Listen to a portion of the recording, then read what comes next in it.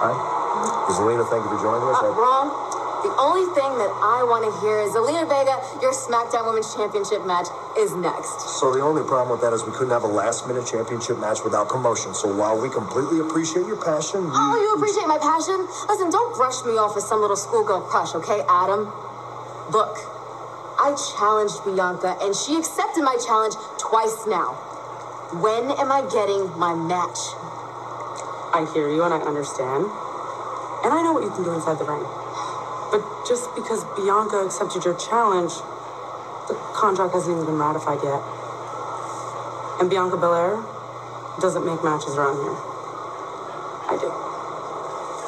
Look, Zelina, you just got back on SmackDown, and we want to do business the right way. So, have a match with Bianca tonight. Do well, prove yourself, earn your way into title contention. And if you do, then we'll give you the title match.